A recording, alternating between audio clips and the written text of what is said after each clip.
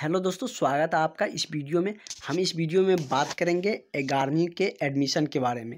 अब आपका admission start हो चुका है। जो भी स्टूडेंट इस बार टेंथ का पास किए हैं, उन सारे स्टूडेंट के लिए खुशखबरी है कि आपका जो एडमिशन है, वो बाईस जून से स्टार्ट होने जा रहे हैं। बाईस जून से आपका एडमिशन शुरू हो जाएगा। तो आप सबको अपना एडमिशन, कल कल से ही आपका एडमिशन शुरू होने जा रहे हैं। तो आपका जो भी डॉक्यूमेंट्स लगने वाले हैं और जो भी चीज़ें आपके एडमिशन में दिया, लिया जाएगा, वो सारी बातें हम आपको बताने वाले हैं। तो चलिए स्टार्ट करते हैं वीडियो को और यदि आप इस चैनल पर नए हैं तो सब्सक्राइब ज़रूर करिएगा और बेल आइकन को भी दबा दीजिएगा। जैसे कि आज के न्यूज़ पेपर में ही देख सकते हैं कि राज्य के तिरपन से अट्ठाईस प्लस टू और प्लस टू स्कूल और कॉलेज में ग्यारहवीं के अट्ठारह लाख सीटों पर एडमिशन के लिए कल से ऑनलाइन आवेदन शुरू कर दिया जाएगा। टोटल कितने सीटें हैं? अट्ठारह लाख सीटों पर ग्यारहवीं का एडमिशन होंगे। इसमें सारे स्कूल और कॉलेज भी आ जाते हैं। जैसे बहुत सारे प्लस टू स्कूल में भी एडमिशन होता है। बहुत सारे कॉलेज भी होते हैं जिससे मान्यता प्राप्त होते हैं सरकार के द्वारा। तो उन सारे स्कूल और कॉलेजों में कल से आपका ऑनलाइन प्रक्रिया शुरू होने जा रहे हैं और कल से आपका एडमिशन का ऑनलाइन प्रक्रिया होंगे, जिसमें आपको तीन सौ रुपया का भुगतान राशि देना होगा। तीन सौ रुपया का करना होगा ऑनलाइन भुगतान। और तीन सौ रुपया आपका मतलब कटेगा, जो कि आपके एडमी, समझ सकते हैं, फॉर्म फिल और ये सब एडमिशन के वगैरह, इस सब सारे नाम पे आपका तीन सौ पचास रुपया कटने वाले हैं। बात करें तो अभी तो सिर्फ़ बिहार बोर्ड के जो टेंथ का बच्चे थे, उनका रिज़ल्ट जारी हुआ है। उसके बाद बिहार मध्यमा जिसे हम संस्कृत बोर्ड करते हैं तो उसका भी रिज़ल्ट जारी कर दिया गया है। तो ये दो तीन बच, दो तीन बोर्ड के बच्चे का तो एडमिशन आराम से हो जाएँगे। लेकिन सीबीएसई और आई बोर्ड का अभी तक रिज़ल्ट जारी नहीं किया गया है। तो सीबीएसई और आई बोर्ड का स्टूडेंट का अभी फॉर्म फिल नहीं किया जाए ऑनलाइन अभी नहीं होगा।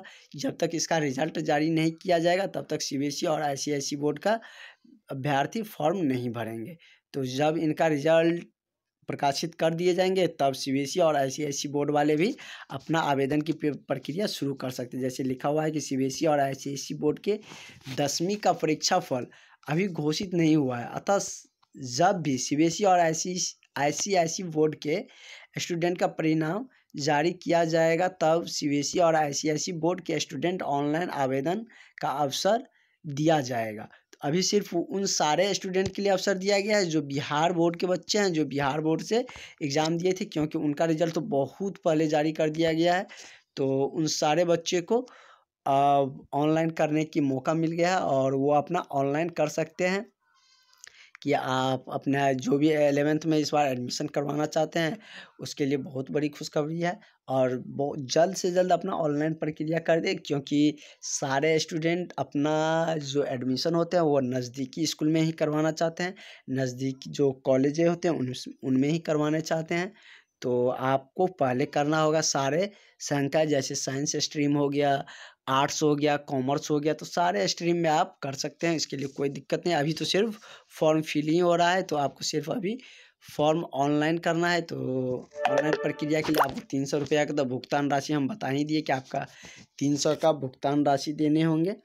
और जितना जल्दी आप करिएगा, उसमें कॉलेज सेलेक्ट करना रहता है तो आपका जहाँ भी नज़दीक कॉलेज है या विद्यालय होंगे, जहाँ पर आप रह रहे हैं तो वो आपके लिए ज़्यादा बेनिफिट होंगे। तो इसलिए आप अपना एडमिशन का फ़र्स्ट ऑफ़ ऑल उन्हीं का चॉइस दीजिएगा, क्योंकि आपसे चॉइस पूछा जाएगा कि इतना कौन कौन से कॉलेज आपको डालने हैं, ये सारी चीज़ें आपसे पूछे जाएँगे। तो इन बातों को ध्यान में रखते हुए आप अपना ऑनलाइन प्रक्रिया कर सकते हैं और ग्यारहवीं में एडमिशन के लिए जो भी स्टूडेंट इच्छुक है, वो सारे स्टूडेंट अपने ऑनलाइन ऑनलाइन फॉर्म भर दे और जिसके लिए आपको तीन सौ साढ़े तीन सौ रुपये का भुगतान राशि करने होंगे। तो इससे रिगार्डिंग हम आपको आगे वाले वीडियो में बताएँगे कि आपका क्या क्या डॉक्यूमेंट्स लेकर जाने हैं और क्या सब आपको देने होंगे, ये सारी चीज़ें हम आपको बताएँगे। और जिसे खुद से मोबाइल से भी करना है, वो भी कर सकते हैं। तो इस साइट पे जाके भी कर सकते हैं W dot of S S Bihar dot in इस पर जाकर आप ऑनलाइन कर सकते हैं। तो इसमें कोई दिक्कत नहीं है और इसके बाद देख सकते हैं कि कितने बच्चे के कितने स्कूल और कितने कॉलेज है, वो भी दिया गया है कि कितने स्कूल में, कितने कॉलेज में कितने सीटें हैं। तो ये सारी चीज़ें आप देख सकते हैं और पढ़ भी सकते हैं।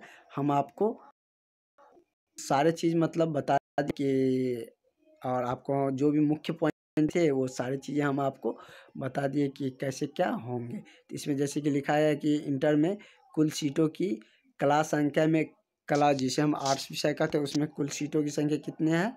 तो करीब आठ लाख सीटें हैं। वही विज्ञान संख्या में साढ़े सात लाख है। वही वाणिज्य संख्या में कितना? साढ़े ढाई लाख ढाई लाख के आसपास में इतनी सीटें हैं जो कि आपके वाणिज्य से जो करना चाहते हैं, उनके लिए है। उसके बाद पंद्रह से बीस सीटें कृषि विभाग में है। तो जिन जिन आप संकाय में जिन जिन स्ट्रीम में आप इच्छुक है, साइंस रखना चाहते हैं तो साइंस आर्ट्स रखना चाहते हैं तो आर्ट्स में आप अपना एडमिशन करवा सकते हैं। तो अभी के लिए इतना ही। Thank you.